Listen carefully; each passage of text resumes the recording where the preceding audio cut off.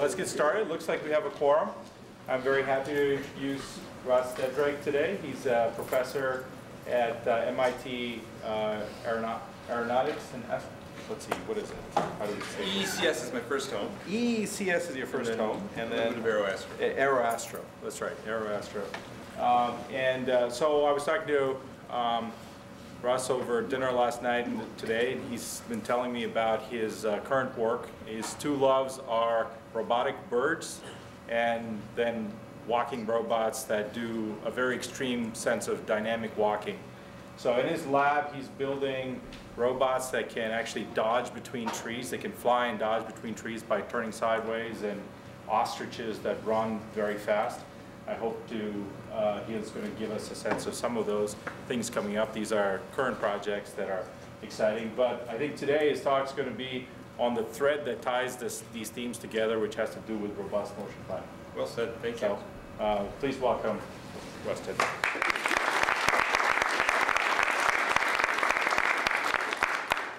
Thanks for having me, thanks for coming. Uh, Right, so I want to talk about exactly right, the thread that sort of ties those two loves together, which is the sort of algorithmic foundations of taking all that planning stuff and making it work on real robots. Um, So I believe in motion planning, right? So uh, that's not, you know, in the people that do walking robots and the like, I- it's a selling, I always start talking to the dynamic walking people saying, you know, there's this thing called motion planning, right? That, uh, that we should all be thinking of it. But uh, to this audience, I'm, I'm talking to a friendly crowd here who all, who all know and love motion planning algorithms. But, you know, I think motion planning uh, works really, really well, even for really complicated systems. So this is our, you know, Little Dog robot built by Boston Dynamics. I know you guys uh, have Little Dog here and have seen Little Dog a lot.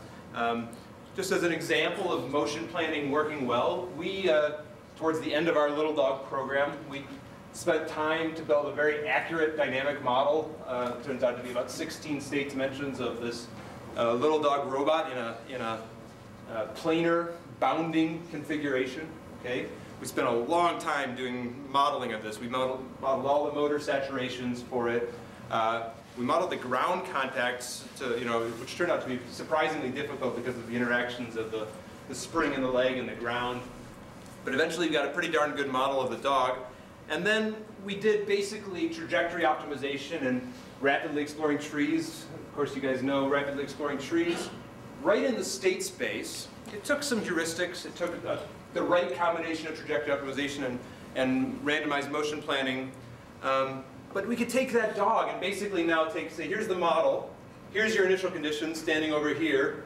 You know, get to the final condition standing over here. You got all this terrain in the middle hit go, and, and our motion planning algorithms could, you know, could come up with solutions that would eventually, you know, in a few minutes of computation, you know, get this dog to bound with all the sort of constraints that we thought were, were real in the real world to go from point A to point B. That's, for me, that, you know, in my world, that was an impressive demonstration of, of motion planning, you know, working on a complex model. Here's the other example, right? The other, so imagine if you wanted to fly an airplane through a forest at a really high speed. So it turns out we're, we are thinking a lot about it. Just to show you some of the, the inspiration here, we've got collaborators at Harvard that are flying real birds through synthetic forests, um, just watching what they can do. Like this is our uh, instrumented pigeon. I really wanted it to be an elite bird, you know, some sort of hawk, some sort of uh, falcon. I got a pigeon, you know, but uh, they actually convinced me pigeons are really, really good at flying in clutter. You know, when they come down and get your lunch and then take off again, then you know they're they're specialized birds for that sort of urban environment. And just in case you didn't see that, that's just I mean it's just beautiful to watch how they can fly through here. They're not perfect. They make some contacts, but they the way they time their wings, they time their uh, their maneuvers. They're quite dramatic maneuvers, almost certainly stalling wings in the process, and and, and navigate at high speeds through very cluttered environments is inspirational. We've been collecting data. Uh, uh, this guy's got a head-mounted camera, right? He's got motion capture on his on his head and on his back. It turns out, since birds don't saccade with his eyes, we know we know the orientation of his head. We know where he's looking. So we have we have exactly sort of what he's seeing through this world, tracking from about from from externally and on on, on board everything he sees, and you know hopefully we'll learn something from the bird. But the point is, I can take my models of an airplane of complexity necessary, we hope, to, to do those maneuvers, This is our, our sort of agile uh, wing-around configuration for an agile UAV. And I can ask it to fly through some obstacle-laden field, and I can just crank out, you know, I believe in motion planning. I, I can just crank out solutions that'll, that'll find solutions of this pretty complicated dynamical system through complicated geometric constraints, right? And I can do it even if those models are, are really pretty complex models of the aerodynamics. If I've got post-stall effects modeled and, and the like, and, uh, and like Sanjeev said, we're not talking, th- this picture doesn't quite do it justice. This is the one I use for my, I'll use for my cartoon a lot in the talk, but, but really we're talking about trying to do knife edges through obstacles that where you couldn't possibly fly, um, you know, horizontally or and going through really tight gaps. We're not doing that yet, but that's what our, our goal is, and I believe that given models of the proper sophistication and the geometric description of the world, we're going to be able to find um, very high performance trajectories with these motion planning algorithms. They're, they're, they work really well, okay? Um, why is that impressive? Why, was, why are those problems hard? It's impressive to me because um, the dynamics of those, both of those examples, the dynamics are very complex, right? So the dynamics are, are very nonlinear. For Little Dog, already the manipulator equations that govern the dynamics of the robot are, are nonlinear. Um, but even more, there's very limited control authority, right? So the walking robots are inherently underactuated. Little Dog, those, that, those poor motors were speed saturated almost all the time. Certainly in bounding type configurations, we were always at the rails of the, what those motors can do. And if you have limited control authority, then you can't squish nonlinear dynamics. So you sort of are stuck reasoning about the nonlinear dynamics of your system. You can't just use feedback to, to linearize the dynamics. So they're hard in a dynamic way, um, but they're also, those problems are both combinatorially hard. They're, they're, they're problems that planning feels natural, right? So, so you have to decide, am I going to go left or the right of the obstacle? And there's a problem of, of choosing which path among the combinatorial number of paths uh, I'm going to take through the obstacle field, through the, you know, am I going to step on rock number one or skip rock number one and go to rock number two? Traditionally, tools that address the complex nonlinear dynamics and tools that address the, um, the combinatorial planning problems haven't always mixed, but, you know, but nowadays I think they're starting to really, I think motion planning is really doing a good job. Trajectory motion planning in those kind of problems is working really well, okay? All right, so what's the problem?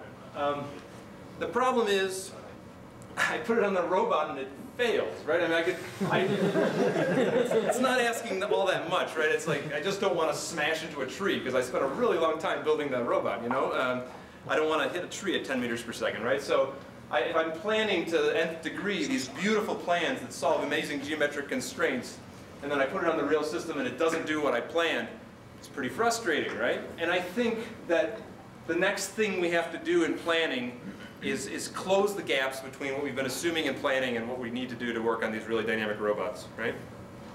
And I think that gap is mostly in robustness, right? So if I take some nominal plan in my cartoon airplane in a cartoon forest, um, you know, that we all know that if I were to make a small change in the initial condition and run the same control tape, my same motion plan through, I might just smash right into the tree, right? The same thing's true if I, if I have small errors in the model, right? If the model wasn't quite what the real dynamics of the system were, the same thing could happen.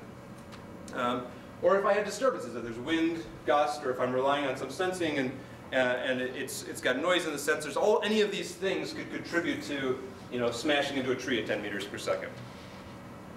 Um, so there's a couple lessons that I want to sort of, I want to uh, you know, start, start the discussion on today. What, first of all, you know, not all plans are created equal. You can sort of tell when I planned this, I tried to push it towards, so on average it was away from an, an obstacle, and that's a pretty good heuristic. But, but in fact, um, trajectories that look may, may look equally good to a, uh, two trajectories that may look equally good to a standard motion planning algorithm, it might be that one of them is living right on the rails of the actuator capabilities and there's therefore not stabilizable, or might be in some more subtle way um, very hard to stabilize, where another plan might be very stable even though they look kinematically very similar. So we're going to try to find plans that are more naturally robust. And I think to do that, we first need to uh, evaluate robustness well. Okay? Um, so just to, to, keep the cartoons going here, um, let's just think with me for a second about, I want to think about the dynamics of our aircraft as a vector field. So right, in, in general, if I write the equations of my robot as x dot equals f of x u, x being the state, u being the input, um, then I can plot, I can make the, uh, put the airplane at any state in this world and ask what does the current x dot look like in that state, right? This is just, a visual description of the dynamics of the world. And to, this is a higher dimensional model. I'm just plotting a 2D slice of that dynamics and projecting the vectors onto that. So if I were to take you know, my airplane and set the control to zero, this particular airplane model is just going to fly straight. That's obviously going to run into a, uh, a tree in this case in a lot of configurations. What happens now if I've taken some time to build a motion plan? So for a motion plan for me typically um, starts off as a tape, a control tape of control input actions. I'll call it U0 of t, right? So defined over some finite domain t0 to tf. Okay, if I, if I impose x dot equals f of x, but with that control input tape, the thing that I get out is now a time varying vector field. And um, you have to forgive me, I'm switching between movie formats here, so I'm going to flip between a little bit, but hopefully it'll be almost seamless. And what I get is a time varying vector field, right? The same thing, but as u changes over time, the vector field changes over time. Um, and I want to somehow, if I want to talk about robustness, I need to actually think about that entire vector field over time, how it evolves, and ask harder, it starts to feel like harder questions like, okay, if I started here and I underwent that time varying vector field, am I going to hit an obstacle, right? These are potentially tough questions, okay? So, um, so you know, it, given some particular state, x0, is it going to hit an obstacle? That's a, potentially a tough question when my vector field is already complicated and now moving with time, okay?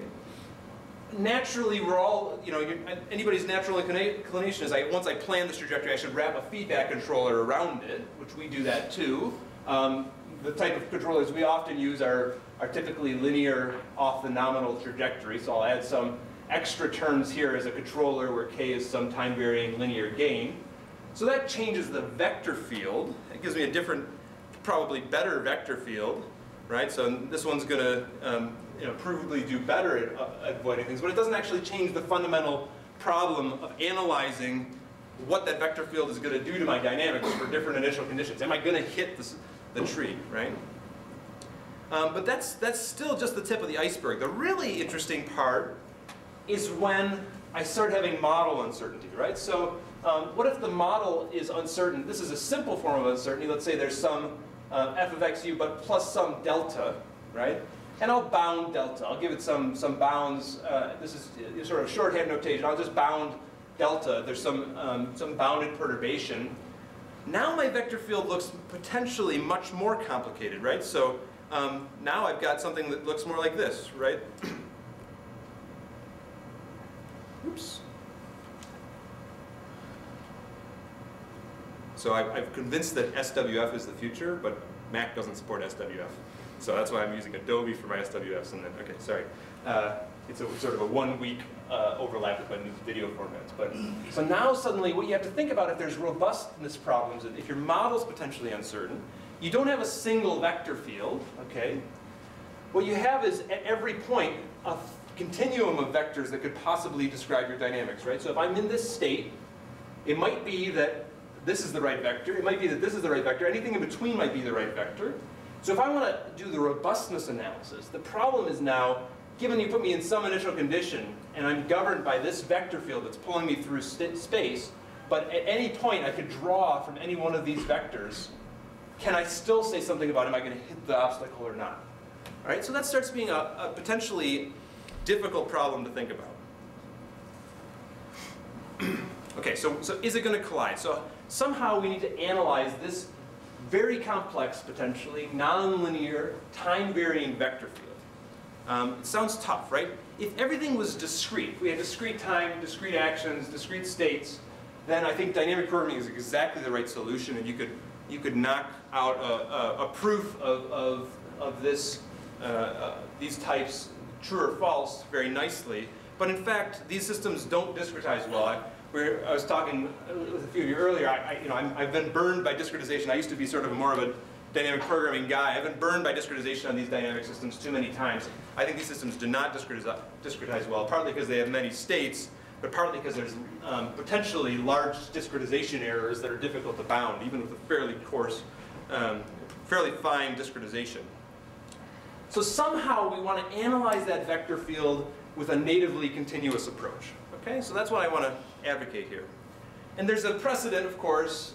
There's this thing called robust control that people in controls have been doing for a long time and doing very, very well, right? So it's the reason that fighter jets work, maybe, right? So you know, I, there's there's proofs out there that a fighter jet, which is net, which is passively unstable, is the the way the story goes. You know, and I can prove that it won't fall out of the sky with five nines of probability, right? So there's 0.99999% chance I'm going to give you a bound that it's not going to fall out of the sky, right? Uh, it's extremely powerful set of res results, but for robust control, mostly for linear systems, right? They give conditions that is the linear system subject to bounded disturbances um, going to be stable always? Um, and they can even give optimization-based verification and feedback synthesis algorithms. So the real question I want to address today is, are any of those tools, those good, powerful tools from robust design analysis, are they compatible with, can we take advantage of them if we're motion planning people that are thinking about the, the dynamic complexity that I'm interested in and the geometric com com combinatorial complexity that is sort of our strength in motion planning, right? And so if the answer was no, I guess I'd be done already. But uh, the hope is that the answer is yes. I'll tell you one particular approach. It's based on Lyapunov function, uh, a, a Lyapunov function-based approach to robustness analysis, and I want to make sure that story comes through. It's not the only approach, but, but I think it's, it's, a, it's a powerful place to start. So how many people sort of eat Lyapunov functions for breakfast and just think about them all the time? All the time. All the time. Every day. Uh, okay, so you, you will, you'll be bored for two slides, but, but let me just make sure everybody's on the same page, right? So, um, so this is the way I like to sort of motivate Lyapunov functions. Uh, take the simplest robot in the world, uh, you know, uh, a simple one-link pendulum that's going to sit there and, and fall down uh, with gravity. It's just got a pin joint at the, at the top, okay? I can write the equations of motion for this robot, right? I can simulate it, no problem. It just falls down, okay? So given this differential equation where mass, length, right, this is some damping, g sine theta, you know, given a differential equation description like that, I should be able to ask you very simple questions like, okay, I'll give you the initial conditions. I'll give you theta 0, theta dot. You tell me what theta is going to be at time t. That's a fair question, right? That's a, you can, I'm giving you the differential equation, I'm giving you the initial conditions. That should be everything you need.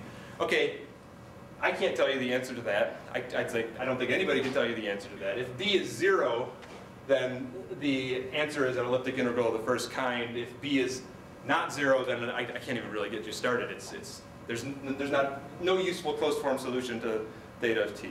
Okay, so if we're talking about bounding the long-term performance of a pendulum, uh, potentially, you know, in obstacles and stuff like that, if I can't even solve a pendulum, that's a little frightening, right? Uh, that doesn't bode well for the future of the talk here.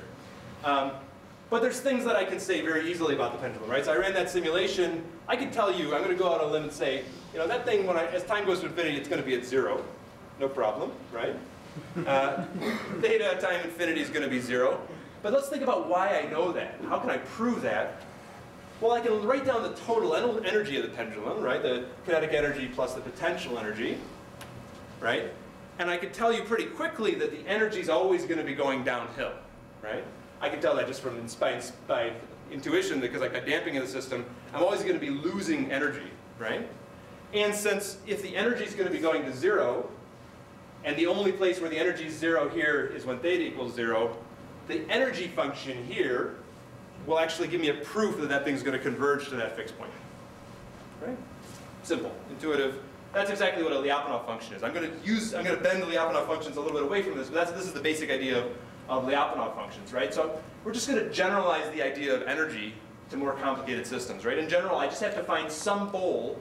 It might be that solving a differential equation for a system could be intractably hard, but as long as I can find some function, some scalar function, I'll call it v of x instead of energy, that's always greater than zero except for when it equals zero, at, at zero, uh, and which is always going downhill in, in time. So if I if I differentiate v, right, so partial v partial x, partial x partial t, which is just f, if that's always down, going downhill, then it's exactly like my energy argument. I know if I'm always going downhill on this function, then eventually I'm going to get to the origin and everything's stable, right?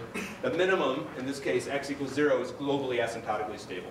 if I can construct that function for complicated systems, I'm golden, right?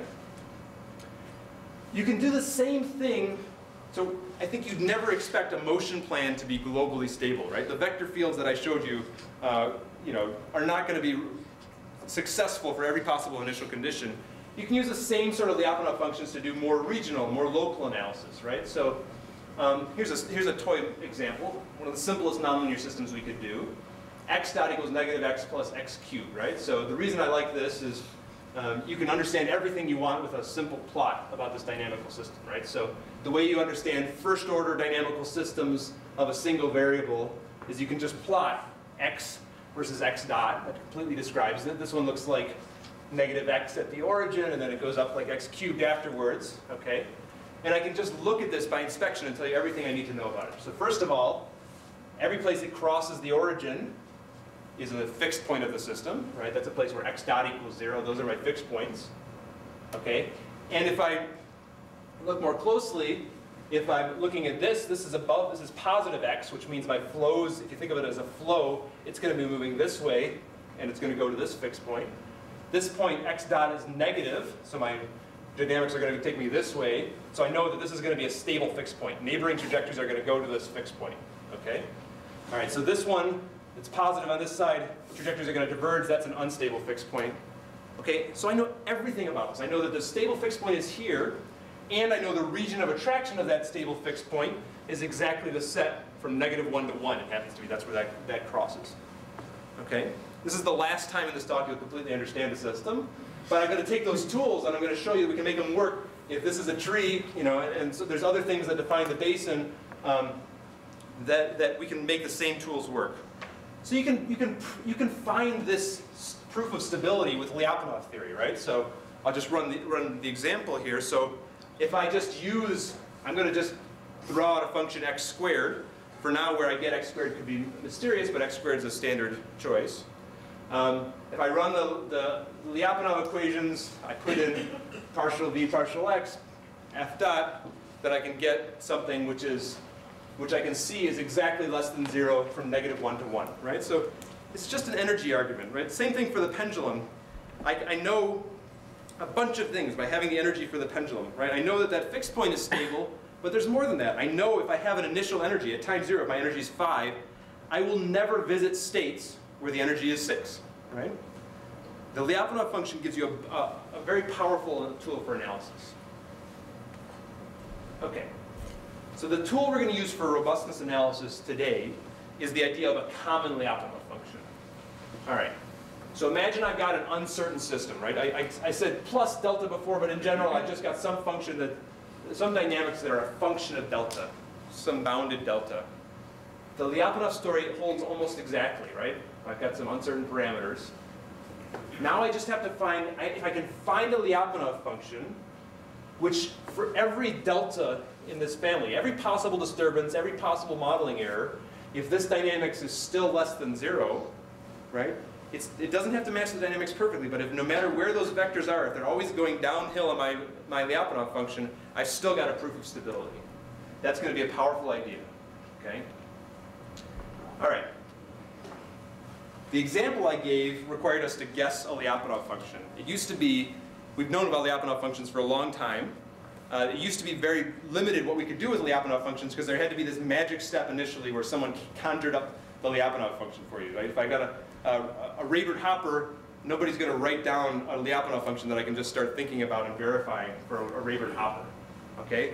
But things have changed in controls, right? So nowadays, you can actually find Lyapunovs functions using optimization, right? So in to be exact, for, for smooth systems, you can verify polynomial Lyapunov functions for polynomial systems using convex optimization.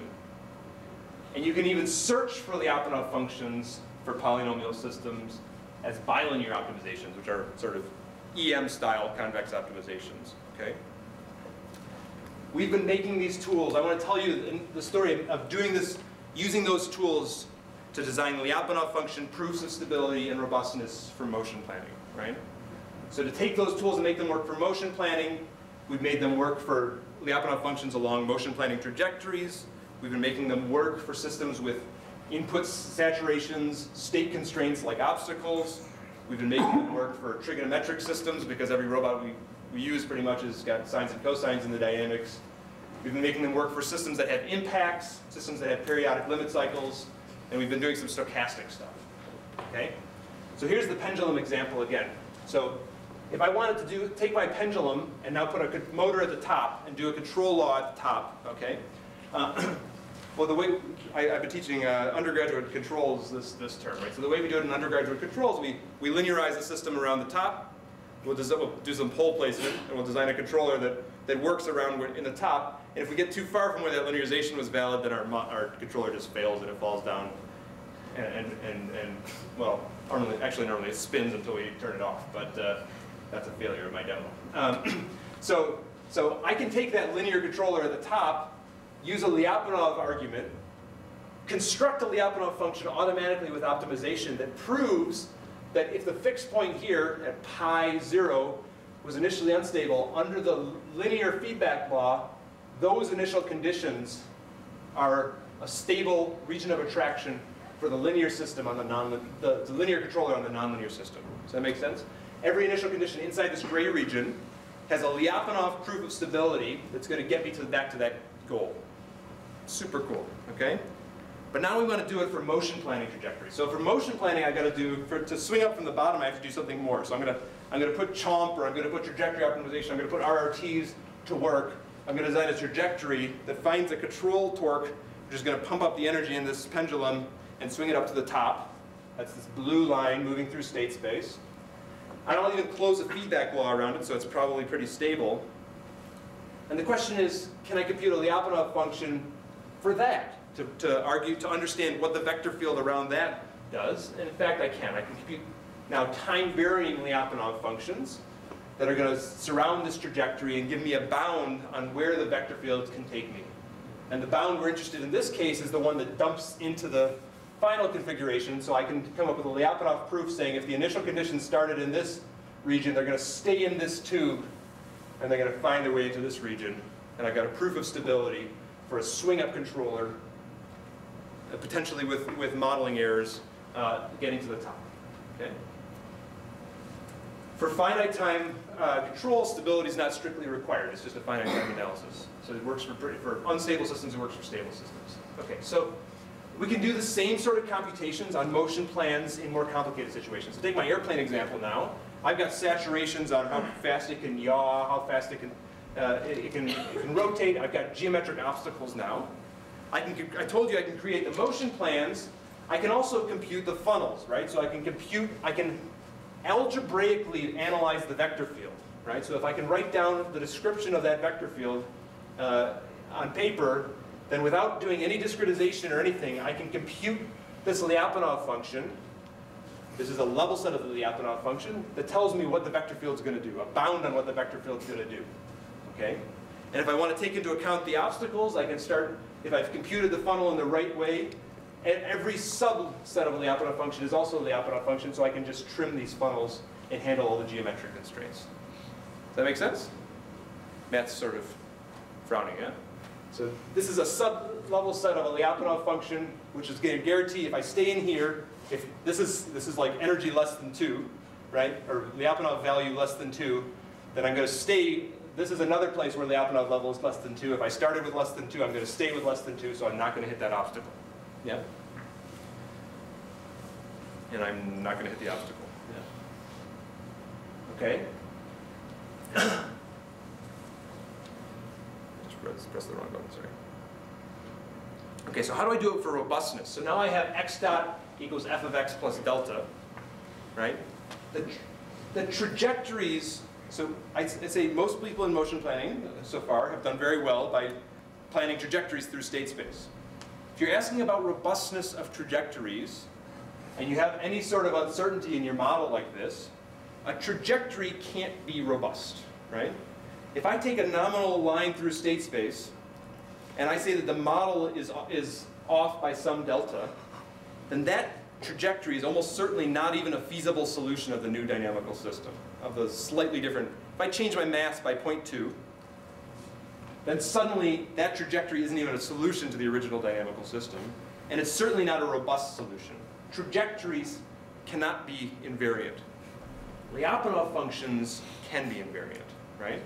I can still prove, like I said, with the common Lyapunov function argument, that, I, that even if my model is wrong, if I start inside a funnel, I'll stay inside a funnel, okay? So this funnel is a fundamental flip in what we're planning. Instead of planning with trajectories, I think we should plan with funnels, and then, then we can talk about robustness of our motion plans, okay? All right, so how does it work? So, so it works for, for complicated systems too. My, my example for, for Steve and the dynamic walking community is, are these, um, my favorite sort of simple walking models. Hartmut thinks about these a lot, right? The, this is a compass gait, happens to be a compass gait walking model. You put it on a small ramp and it'll walk.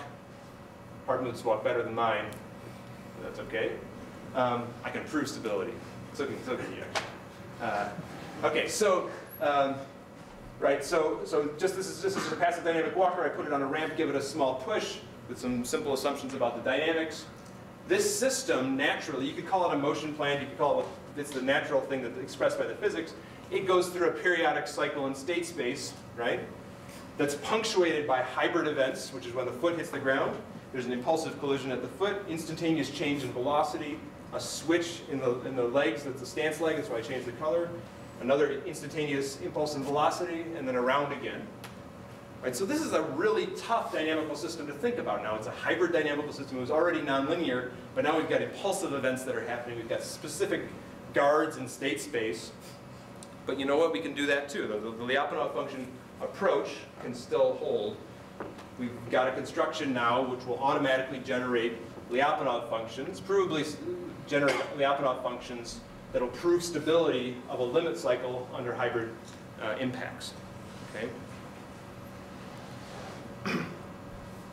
I decided not to go into the, all the math of the tools today, but, uh, but I want you to know that those tools exist and, and sort of what their limitations are, right? So, um, so maybe the head-to-head -head comparison would be what can you do with an algebraic Lyapunov function approach compared to, say, a dynamic programming approach, right? So the scaling of these convex optimization problems is polynomial in the number of decision variables. The decision variables are, are, are grow polynomial with the state dimension, state dimension. So it's a polynomial algorithm. You know, if I was, you know, if I was a convex optimization person, I would stop there and just tell you it's polynomial. But but actually, it's polynomial with a really big exponent, right? So so in practice, uh, these get really big, really fast. Um, we're doing we're computing the Lyapunov functions for systems up to about 11 states, and the people who who who've been doing this for a long time and pushing the dimensionality are doing it 15, he's told me 20 more recently, Kapagu says, maybe I can do 20 dimensions for, uh, for computing the Lyapunov functions for the time invariant systems. Um, the funnels along trajectories are, are more expensive because you have to you have to think about time too. Uh, we're doing up to about eight states. But this is just the tip of the iceberg, I think. I'm sort of willing to bet on these tools because I think discretization is sort of, we've been discretizing things for a long time. We're up to maybe five or six dimensions and we're not going to get a lot farther. Um, you know, these are working pretty nicely in, in a few, you know, handfuls of minutes on, on big systems with 11, 8 states, and they're using optimization engines that, were, that are sort of very, uh, very new, very, very imperfect. Uh, so I think they're going to only get better pretty fast. Uh, the biggest problem with them, for those of you that are thinking about implementing sums of squares optimization, is, is that uh, there's numerical difficulties still, right? So if you, if you download a linear programming solver from, from IBM, uh, you, you, it'll just munge uh, you know, optimization problems with thousands of decision variables, hundreds of thousands of decision variables. It'll never tell you there's a numerical error. Right? Our, our tools are relatively new. The, commu the community's tools are relatively new for semi-definite programs. They still say, oh, sorry, I hit numerical difficulties, and oh, sorry, I can only do this many decision variables, but they're getting better fast. I expect dramatic improvements. so the Lyapunov function gives us, approach gives us a really powerful way to analyze the vector field in a continuous way and talk about robustness of a, of a motion plan. I think the only real fundamental limitation of that approach is this assumption of smoothness and convexity, okay? So it's not going to tell me to go left or right around an obstacle, it's only going to analyze smooth vector fields, okay? So that's why combining it with motion planning is such a nice thing. So, so the, the combination with motion planning is what allows us to address both the dynamic complexity of the task which comes from the Lyapunov, and the combinatorial complexity, which comes from the, from the um, motion plane. All right, so, so if I'm advocating funnels as a way to talk about robustness of motion plans, does the ability to compu efficiently compute funnels change the way we do motion planning, right? There's a couple ways that it might change it, right? So the first thing, compared to a first sort of tangible difference, compared to a trajectory, um, you know, a funnel takes out a finite volume of state space. Every time I take some time to compute a funnel, I haven't just designed an infinitesimally small part of state space away, I've solved a continuous finite volume of state space, right? So I can actually fill a space with a finite number of funnels, and that's the idea of funnels that, that uh, Matt says I should credit Erdmann and, and, so on, and Raibert's in here somewhere, and we've had this discussion, but we don't really know where it came from, right? Okay, so, um, so for the pendulum, the way, you, one way to do it is to just design a particular motion plan, fill the space with a with a, the local space with a funnel, and just design a handful of trajectories until you've, you can some say, in some sense, on an offline planning way, completely solve the problem by filling the space with funnels. And the solution is of the form that every initial condition that's inside a funnel is guaranteed to get to the goal. It's not guaranteed to get there optimally, but it's guaranteed to get there. And maybe you could call that a complete solution uh, to a planning problem. All right? And the algorithms, instead of saying probabilistically complete to find a path from start to the goal, you can actually talk about something stronger. You can talk about probabilistic feedback coverage, right? Which, which says that in the limit, as I draw and add enough funnels, I will cover every initial condition that could possibly get to the goal, will get to the goal, okay? So you can construct examples where you say, here's my goal. I've constructed an example where I want to cover the cyan region. I've designed a dynamical system which can never cross the red line, and it'll successively approximate this with, with funnels until it completely fills in that line and solve the optimization, solve the control problem to the best of its ability. So that works for a bunch in, in, uh, in models, in simulation, we can design robust controllers now for a huge class of systems that I, that I care deeply about, you know, under actuated systems, cart poles, Acrobots, compass gaits, right? So here's, here's a cart pole in practice running an LQR tree policy, right? It's not the hardest control problem we've done, but it show, it's good to see that it works and we got over the, the hurdles of the real world, right? Okay. The only reason that it's geometrically difficult is because there's the rails at the end, which you'll slam into if you're not careful. And uh, the algorithm, you just say stabilize it at the top. It fills the space so that every initial condition, as soon as the red light comes on, it'll, it'll, it'll provably get up to the top. Uh, it's the way we did perching. So I know Rick Cory came and gave a talk uh, not so long ago about, um, about perching aircraft.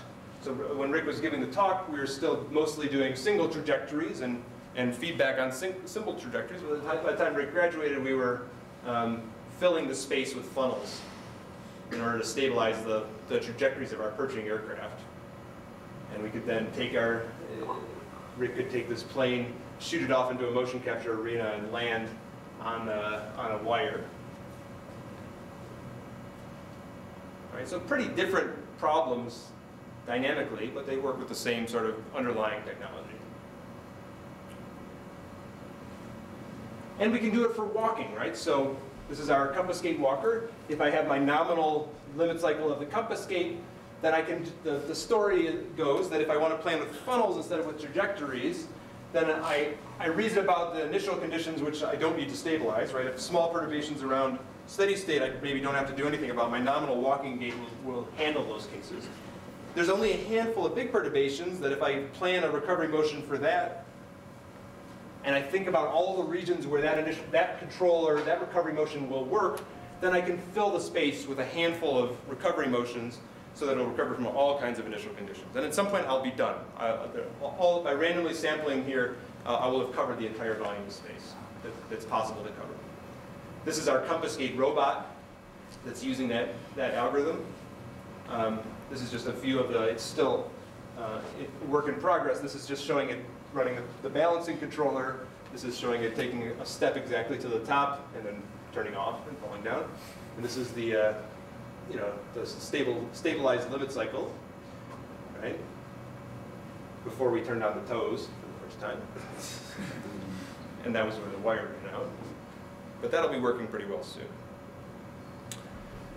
Uh, I threw this in, this is uh, when I was talking to Sid, I threw this in right after talking to Sid, right? So, um, so one of the things that happens for all that planning to work on the walking is that we have, we've had to make those planning algorithms work for planning and verification through complicated multi-contact hybrid situations. So the problem of interacting with, uh, with the ground and having collisions and contacts start and stop uh, is, is very similar to what you might want to do in a cluttered environment, let's say, uh, for grasping. So maybe you could use this stuff for grasping. It depends how much you care about the dynamics. It might be overkill to think of, to worry about the stability of the dynamics where I'm reaching, but if the objects have some dynamics, then, then it might be exactly the kind of tools you need for, for robust manipulation. I don't know. I'm not a manipulation guy. Okay. um, so offline planning, I think, does make sense with funnels. I think if you have funnels, then you can try to fill a space with funnels. Online planning with some robustness guarantees is also possible with, with funnels, right? So so let's take the, the example of flying through the forest. Well, almost certainly I don't know where the trees are when I start, so I have to do something more clever, right? I have to plan sort of in an incremental way with a limited horizon and continue to, to, to update my plan as new information comes online. If you have a library of funnels, then you can still do that with the same sort of robustness guarantees. The funnel computations are efficient, but they're still offline. So what we do is uh, we change the way we compute funnels so that we can pre-compute families of funnels that we can pull out of, out of a deck at runtime, right? So um, let's see.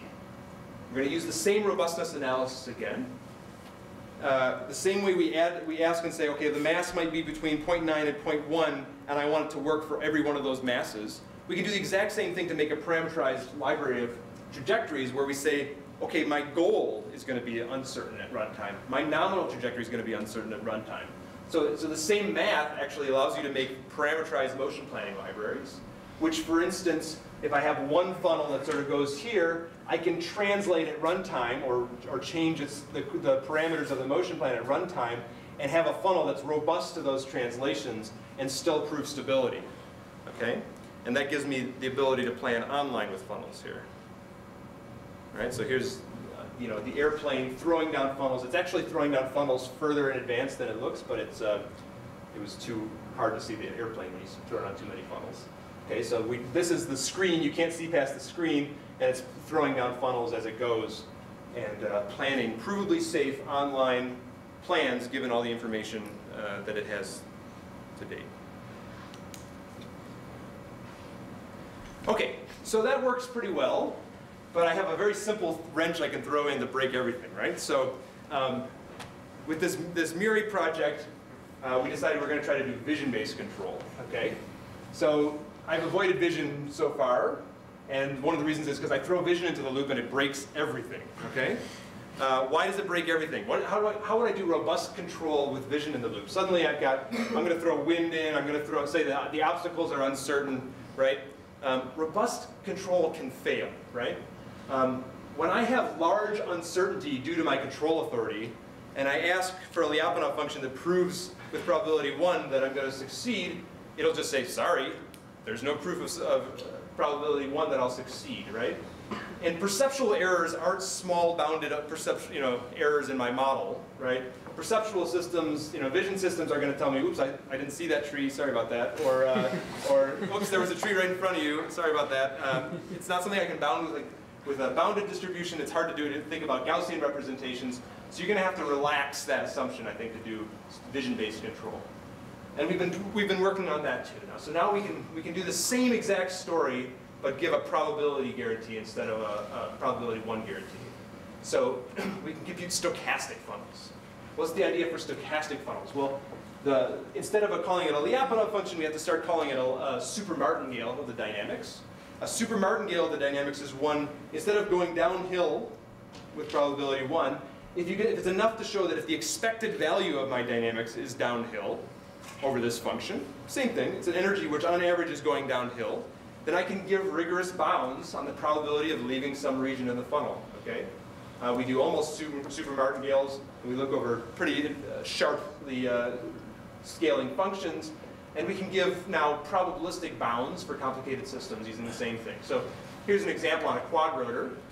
where I'm going to blow a quadrotor around with a Dryden wind gust model. Okay? Simple quadrotor using an LQR controller at the top. Okay? Blowing it with wind just to show you the magnitude of the noise. I can now ask a question like this. So the, the, the Dryden wind gust model is a, is a, a Gaussian process pushed through a, a two-state linear system. So it's, it will eventually go arbitrarily far from the fixed point.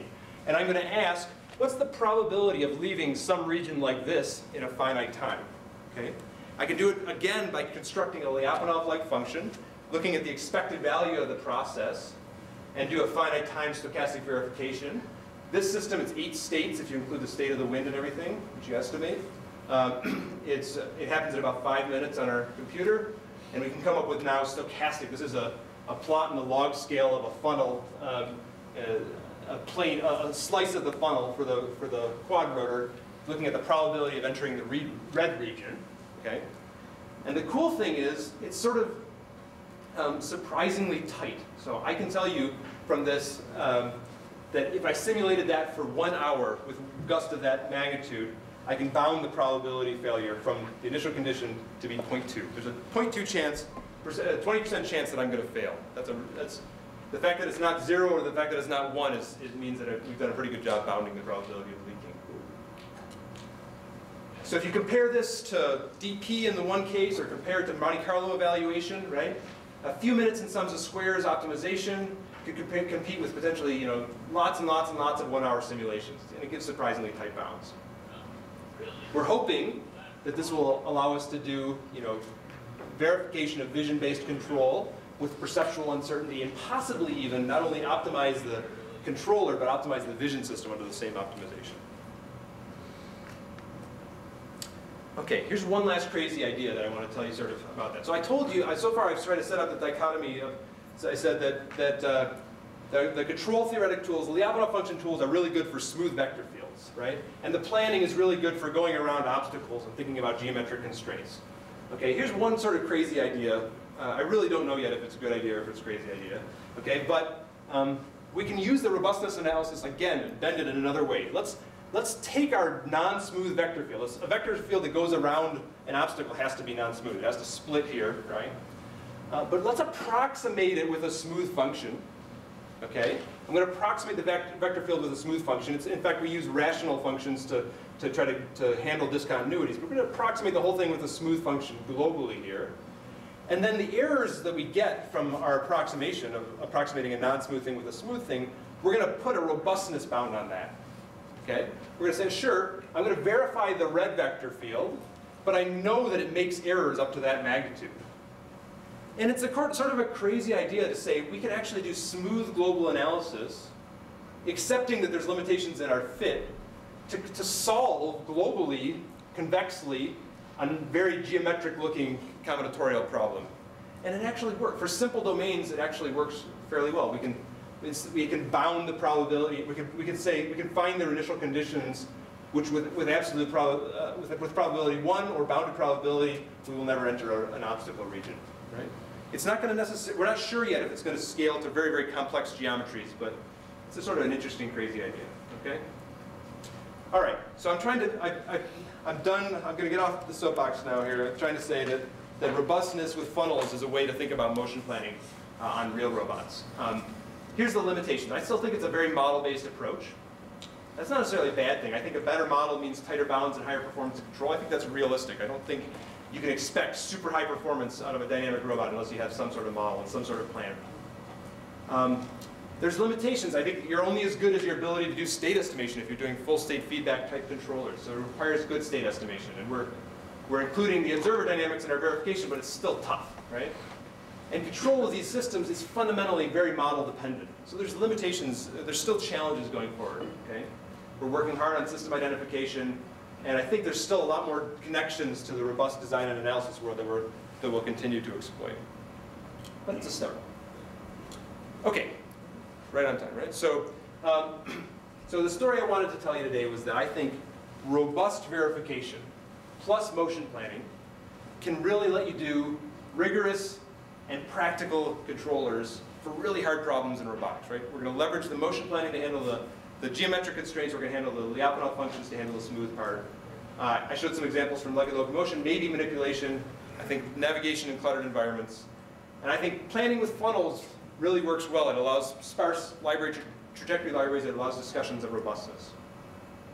I think we can push motion planning to the point where we're getting really, um, really high performance at the limits without sacrificing our rigorous theoretical guarantees.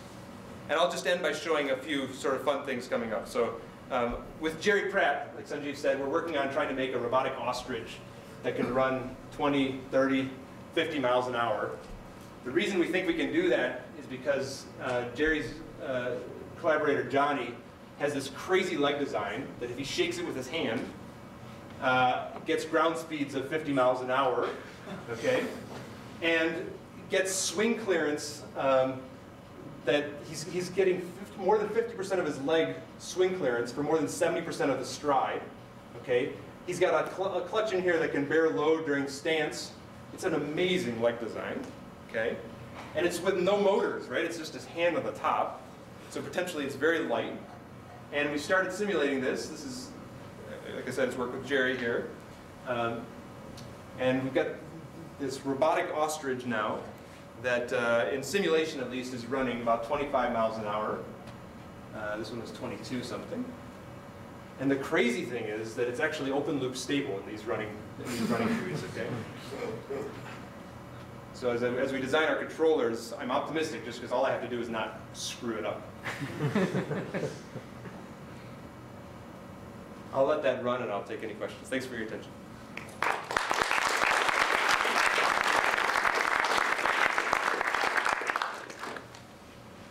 Yeah. So your point about the model is, I think, really well taken because uh, that pigeon was amazing. I'm going to guess it doesn't know much math, right? It's a bird brain, and, right? and, yeah. So how do we do it? How do they do it? I mean, Yeah. I, I think the idea about these libraries is probably right, but somehow, I guess they're not doing any proofs, right? They're, they're practicing or, Good, so I think, I think biology is not doing sums of squares convex optimization. I'd be willing to go out on a limb and say that. Uh, I, I do think that the libraries of, you know, and sort of the idea that you have a, a, something you know how to do, you know, swing a tennis racket or whatever, and you know sort of, a, you know, a number of places where I would, I would choose to, to use that action, you know, sort of a, some sense of where that works. I do think, uh, you know, from introspection, from really no justification, but that's sort of consistent with what I think what my bio biology might be doing.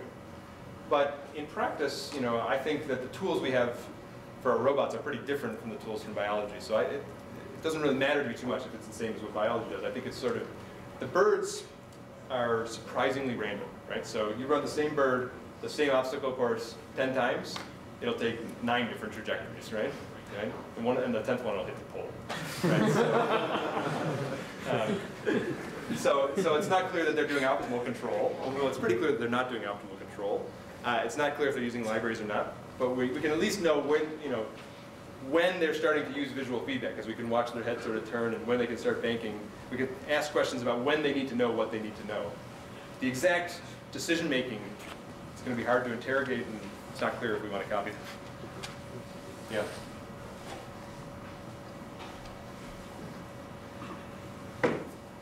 Uh, Do these funnels have something to tell us about which of two systems is more robust? Yeah, absolutely. So there's a, so this is, this is a, this is a set of sort of glasses you can put on to suddenly see something new about your dynamical system. You can see the, the basins of attraction of your dynamical system you, you start computing these funnels, right?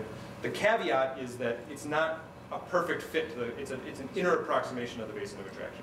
So I can't guarantee I found exactly the basin of attraction. I guarantee that it's a, the basin of attraction is bigger than the funnel I give you. So there could be, it could be, if you give me two systems, I find a bigger funnel for one than the other, it's a pretty good bet that that's a more stable system, a more robust system. It's not an absolute guarantee. It could be that I just was able to fit that first system better.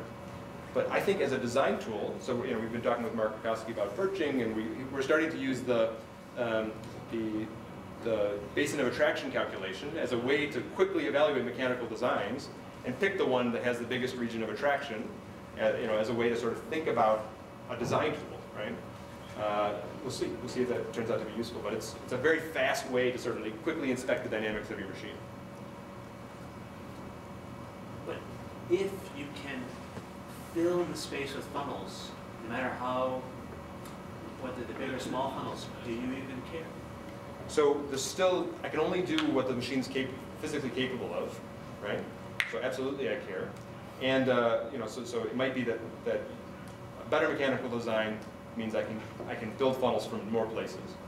And better controllers, better mechanical designs mean bigger funnels, which mean I can, I can I fill the space with less funnels, right? It'll be much more efficient and, and potentially, and there's also places where you'll, you, you can't ask for robustness. There's, like, if, if the ground is too uncertain, my control authority is too weak, I get, the funnel will fail. It'll say, uh, there is no, no controller that will stabilize this with probability one. So mechanical design still matters a lot, and I definitely am not putting that to the side, yeah. Question, back there. Sure. Um, So if I understand the optimization correctly for the, uh, the Lyapunov function, so sort of unfair to the Lyapunov function, sort of a one-time deviation is the, you get to adapt the parameters to play the Lyapunov function, you can't adapt the response. So have you considered, like, is it a much harder optimization if you allow the Lyapunov function to vary, say, parametrically as much harder parameters?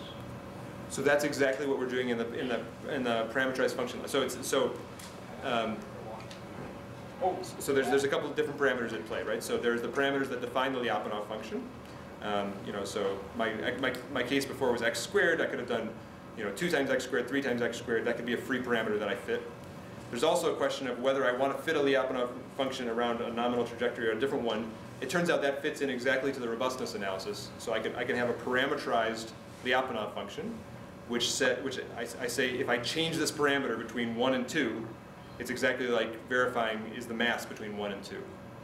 So those things fit exactly together, and then that's how you get the parameterized uh, funnels that you could pull out at runtime. Yeah. Yeah. For the online um, concatenation of funnels that you're showing, like for the receding horizon control, um, can you, so how exactly would you uh, concatenate or like assuming that you have a finite set of funnels in your library, funnel library, you some, can you sometimes figure along the plan for a certain kind of distribution of functions? So it's because they're continuously parameterized, we technically have an infinite set. Um, they always have some finite volume on the input and the output. So we should, so locally we'll always be able to fit a funnel, right? Uh, if we were to find ourselves trapped in a corridor, right, that then, then unless we have some maneuver that will always, you know, so so on our plane, the way we do that is we have a prop hang funnel, right? So, oh crap, I just flew into a closet, you know, prop hang, and and we have a contingency plan that does something like that. Okay, so we, have to have something like that just to guarantee that there's always a solution. But given that, the construction of the funnels is such that, that if you have funnels of finite volume, you should always be able to fit them into the next one. It's not that, uh, you, shouldn't be able to get into the problem where um, I had one here, one here, they didn't quite snap together because I can move them continue, I can deform them continuously until they line up and have some non-zero overlap.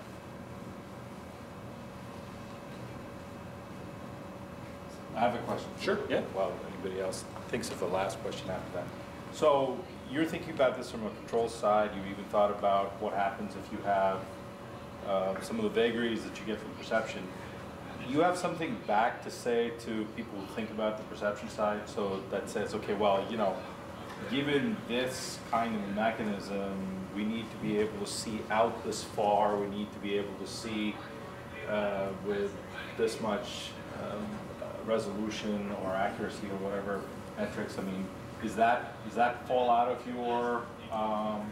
That would be analysis? fantastic. So, so can we do that? So for a particular system, it's, it's a bit like Steve's question, right? So for a particular system, you could say, I could change a parameter and quickly see the effect now that it had on the robustness of my system, right? So if I, if I start changing my mechanical design a little bit, change the spring in my leg, how does that change the size of the funnel?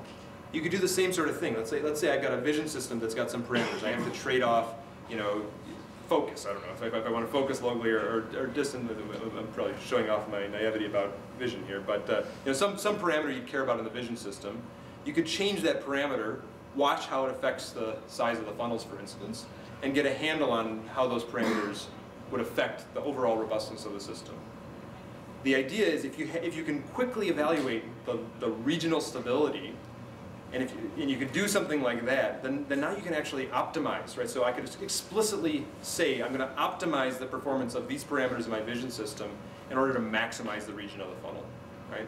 So you can formulate joint optimizations over the controller and the vision system.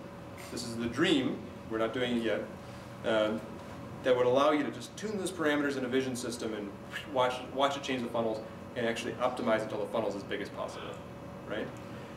Backing off higher level heuristics sounds like maybe the most important thing we could do, but maybe the hardest thing we could do. We're, we're you know, I'm trying to, right now we're in the game of analyzing a particular system discovered by a particular set of differential equations and giving, you know, efficient, fast analysis. Uh, backing, you know, raising that to a higher level, saying that vision systems for fast flying vehicles will always do this, that's a harder question that, that we don't have an answer for yet. Yeah. One last question. Yes, um, so you began your talk saying, um, showing the example of Little Dog, where you said, uh, we, we come up with this really good model of the, of the system and uh, we can generate really good trajectories. And then you say, this doesn't work in reality, so we're going to consider in the system. But you still need a good model of the system to do all this analysis. Um, what happens when you, when you don't have a good model of the system, or you don't even have a model? Is there any uh, hope that we can do some similar analysis uh, in a more reinforcement or data-driven approach? Ah, so you threw, you threw a, screw, uh, a curveball at me at the end there, but, uh, but so, so let's just think about in the model-based approach. So, so let's say I, I, I say my, the dynamics of my system are x double dot equals u plus delta, and like the entire dynamics of little dog are just hidden in the delta, right? Uh, I could write down that model, and it would probably say, I can't give you a proof for that. The better that I make my dynamics and the smaller I make my delta, roughly means the, the more performance I'm going to be able to get out of my system. There's a, there's a continuum of what I can do. The better my model, the smaller the uncertainty bounds, the more aggressive I'll be able to be. That's a natural sort of trade-off, and that's what happens in the algorithm. If you start with a data-driven thing, um, I think there's still a big, I mean, so I, I, often, I often, in the fluid dynamics half, half of our lab, we still do reinforcement learning, okay? And these things, there's a couple natural connections, there's a couple of things that I don't know how to connect yet. But I do think ultimately that you're gonna build the conservative, sort of best controller that you, that you can, using model-based, using uncertainty. And then inside the class of stable controllers, you can use data-driven optimization to, to tweak out the performance. That's a very natural thing that would potentially combine data-driven approaches with model-based robust approaches. If you want your data-driven approach to exceed the capabilities of your robustness, that's a tougher question, but a good important one. Um, Not really a Yeah. question. Yeah. Is there any way to access the video of the pigeon head cam? Or it would be really Oh, sure. Uh, do I have it on my laptop? I don't know. Um, I, I, I can find them and show you, but I, I think that they actually just, I can show you the really bad one that was a shaky camera, but we got a brand new one and I just got it and it's not on my laptop yet. I, well, let's see if I can find the really bad one. Just know that it's like less blurry now. The first one, the camera would shake all the time.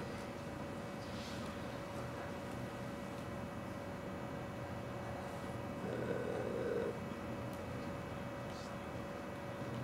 it's a random one, it might just be looking at the experimenter.